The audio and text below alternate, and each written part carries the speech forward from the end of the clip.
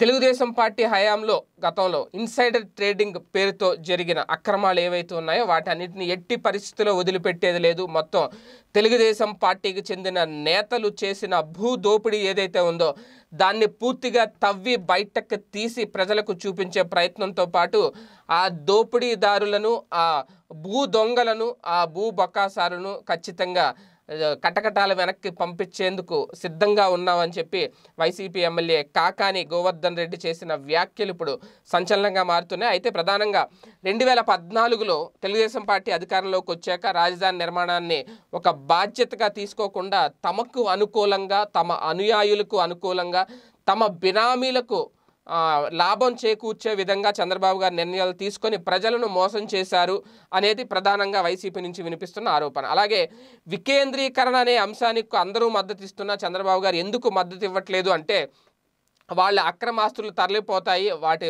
భూముల డిమాండ్ పడిపోతుంది అనేదే మొదటి నుంచి వైసీపీ చేస్తున్న ఆరోపణ. అయితే ఇదే టైంలో రాజధాని ఎక్కడొస్తుందో తమ అనుచరులకు ముందుగానే లీక్ చేసేసి అక్కడ ఇన్సైడర్ ట్రేడింగ్ పాల్పడ్డారు.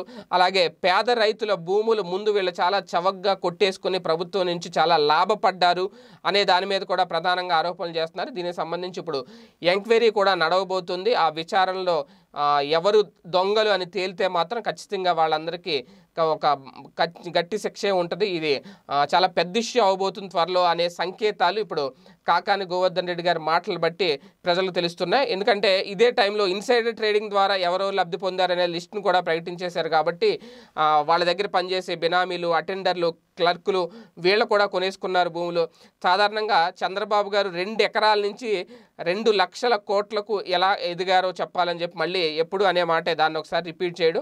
ఎనిమిది వందల మంది తెల్ల రేషన్ కార్డులు కూడా అమరావతిలో భూములు కొనుగోలు చేసినట్లుగా చూపిస్తున్నారు. వారు చంద్రబాబు బినామీలే అని ఆరోపించారు. ఎందుకంటే తెల్ల రేషన్ కార్డులు ఉన్న వాళ్ళు కూడా అమరావతిలో భూములు కొనుగోలు చేయడం అంటే అదేం చిన్న విషయం కాదు కాబట్టి దాని మీద కూడా లో నిజంగా లోకాయుక్త విచారణ జరిగితే ఎలాంటి నిజాలు నిగ్గు తేలుస్తారు? ఎలాంటి నిజాలు వెలుగులోకి వస్తాయి? అనేదే ఇప్పుడు ఒక హాట్ టాపిక్గా మారింది. టీడీపీ నేతల దోపిడీ చేశారు అనేది ఏదైతే ప్రధానంగా ఆరోపణ వినిపిస్తుందో ఆ దోపిడీని పూర్తిగా తవ్వి తీస్తామని చెప్పి ఇప్పుడు వైసీపీ హెచ్చరిస్తుంది. ఓటుకు నోటు కేసులో చంద్రబాబు అడ్డంగా బుక్ అయిపోయిన పరిస్థితిని కూడా ఒకసారి గుర్తు చేసుకోమంటున్నారు. త్వరలో తెలుగుదేశం పార్టీకి అలాగే తెలుగుదేశం పార్టీకి చెందిన నేతలు బినామీలు కొనుగోలు చేసిన ఈ భూములు అది కొనుగోలు చేశారని అన- అనుకోవాలా? లేదంటే భూములను దోపిడీ చేశారనుకోవాలా ఆ దోపిడీని మాత్రం చూస్తూ ఊరుకోమని చెప్పి కాకాని గోవర్ధన్ రెడ్డి గారు చేసిన వ్యాఖ్యలు ఇప్పుడు ఒక సంచలనంగా మరి. చూద్దాం ముందు ముందు ఏం జరగబోతుంది భూముల వ్యవహారానికి సంబంధించి అనేది. స్టేట్యూ మీరెక్కడున్నా ఏం చేస్తున్నా ప్రపంచంలో ఏం జరుగుతుందనేది ఇప్పుడు మీకు పెట్లోకి తెచ్చేసింది one line app. Political movies రాశి ఫలాలు ఆరోగ్య సలహాలు సీరియల్స్ విశేషాలు. ఇలా ఒకటేమిటి?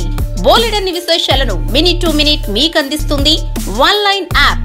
So late ఎందుకు? డిస్క్రిప్షన్లో ఉన్న లింక్ ద్వారా వన్ లైన్ యాప్ డౌన్లోడ్ చేసుకోండి. One line it's for every